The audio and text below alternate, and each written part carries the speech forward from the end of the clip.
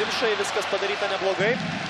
Tačiau Dimša neįmeta iš po krepšio, aišku, trukdėm ir varžovas, o Saulis Kulvietis jau antrasis jo blokas šį vakarą. Pasibaigus šiandienos mačams.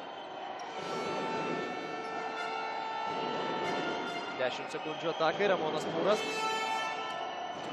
Derikas Lau, neprašoka Šavonas Liujisas, Lau arčiau krepšio. Saulius Kulvietis. Šiame kelnyje jau Vytautas e, greitai susirinko keturias pražangas. Vasiliauskas išsiveda Urbutį prie tritaškio linijos, prie Zagrebos Wow, liko. wow. Stadionis, bet Saulius Kulvietis į pagalbą. Tiesiog stovi kaip stulpas ir Rutavičius e, aukštai iškėlęs rankas ir Dimšai užpulti nepavyko. Saulis Kulvietis apsigina. Dabar pasiseka Vytauto komandai, kad Kulvietis neįmetė. Šulskis ir Rutavičiui po krepšių ten gerokai aukštesnis. Na, ne gerokai aukštesnis, bet vis tiek ilgesnės rankas ir e, nie taško nėra pelnęs Samienas. Sirutavičius. Kisielius prašo kamulio prieš Butterfieldą ir Sauliaus Kulviečio blokas iš pasalų užklupo varžovą Kulvietis. Trečiasis jo blokas šiandien, Liujisas įsibėgėja. 52 kilnojasi stogas Utenos arenoje. Vasiliauskas labai norėtų, aišku, pražangos perdavimas Čepukaičių. Šulskis blokuojamas, Čepukaitis nėra pražangos ir po to Švilpukas prieš Vytauto komandą. Pasvaliečiai. Šį kartą Lievas e, naudojasi Urbučio užtvarą ir suranda prie tritaškio linijos Saulių Kulvietį. Lievas. Prie jo lieka Radosavljevičius, Alievas numeta kamuolį kraštą Saulių Kulviečių ir įžiebė vilti šis e, Kulviečio tritaškis. Laurinas Samėnas rungtyniauja su keturiomis asmeninėmis pražangomis. Kulviečio užtvara jam. Samėnas, Kulvietis iš toli, laisvas. Trys taškai. Jis taip pat yra pridėjęs šešis atkovotus kamuolius. Kulvietis dar kartą iš panašios pozicijos ir dar trys. Sauliaus Kulviečio taškai. Praėjusį sezoną Juventus iškovojo Lietuvos krepšinio lygos bronzą. Taip pat iškovojo ir Baltijos lygos bronzą, taigi buvo geriausias. tolimas. Visų pirma per tolimas, visų antra per žemas ir dėl tos trajektorijos jis atsimušęs į lanką nebegalėjo. keturis kartus, penkios su pusė minutės lieka žaisti antrajame kelinyje. Liujisas pametė kamolį, žingsnių nebuvo ir susirena Saulis Kulvietis. Kelionis. Saulių Kulviečių. Kulvietis drąsiai iš toli. Kamuolys skrodžia tinklelį. 72-74, dviem taškais priekį Utenos komanda. Kulvietis, Po verkštės metas Saulis Kulvietis. Komandai įvykiai jau klostėsi sėkmingai. Kedainių nevėžys klysta. Saulis Kulvietis, krepšio link, du taškai ir pražanga. situacija gelbsti Vaidas Šepukaitis. Kulvietis prašo kamolio prieš Šulskį. Žais veidų į krepšį, daug negalvoja, tiesiog. Imša. Saulius Kulvietis prieš Kisielių. Aišku, dabar agresyviai turi žaisti tas žmogus, kuris puola prieš Laimoną Kisielių. Kreipti dėmesį, kaip ginasi prieš jį Šavonas Liujisas. Gerokai atsitraukęs. Galima provokuoti Ivanauską tolimiems metimams. Kulvietis. Pats prieš Timofenką centruoja. Ir prasibrauna iki krepšio. Žemas į aikštę Dainių Šalengą.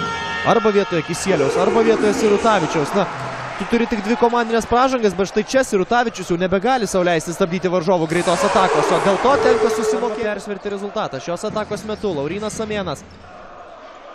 Kulvietis šiandien kaip ant sparnų rungtyniauja. Juventus persvara kovoje dėl kamuolių didėja.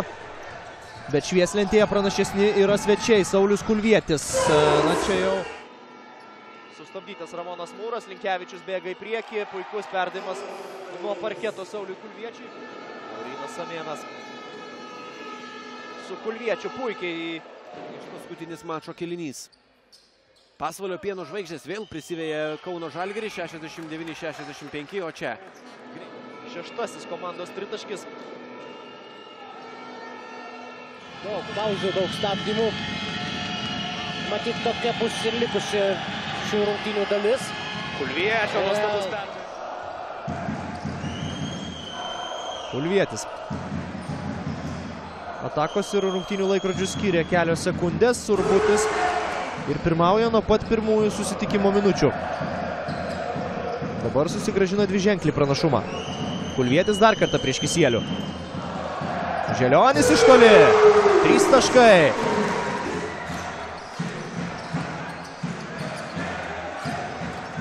Kulvietis. Randa sprendimų iš tikrųjų Utena prieš varžovų zoninę gynybą. Šalas čempionų su Kauno Žalgiriu. Kas jau kas, bet jis jokios įtampos tikrai nejaučia. Martinas Linkevičius ar atsakys tuo pačiu? Atsako. Irgi yra eliminuotas iš žaidimo šiandien. Negana to turi jau tris pražangas ir gintis irgi. Dabar praleido, visiškai praleido Šavoną Liujisą Vasiliauskas. O, Saulius. Kelnių Juventus pelnė net 35 taškus. Samėnas iš toli. Saulius Kulvietis. Irgi į žaidimą įsidė aikštelėje. Samėnas. Užtvara iš kairės pusės, Laurino Samėno netaiklus metimas, Saulius Kulvietis dar vieną kamolį įma po varžovų krepšių. Gydosi traumą, kai Zdanavičių Juventus pasikvietė, tuo metu iš reikiuotės buvo iškritęs Arminas Urbutis. Bet dabar tenka ir tikrų žaidimo minučių Zdanavičiui gauti. Šavonas Liūsas, Saulis Kulvietis ir Martynas Linkevičius, e, bet Juve susiduria su rimtomis problemomis dėl asmeninių pražangų. Egidijus Dimša ir Laurinas Samėnas po tris. Edgaras Želionis turi keturias ir būtent dėl pergalės. Vienos žvaigždės pirmauja penkiais taškais, o Lietkabelis trimis atsilieka.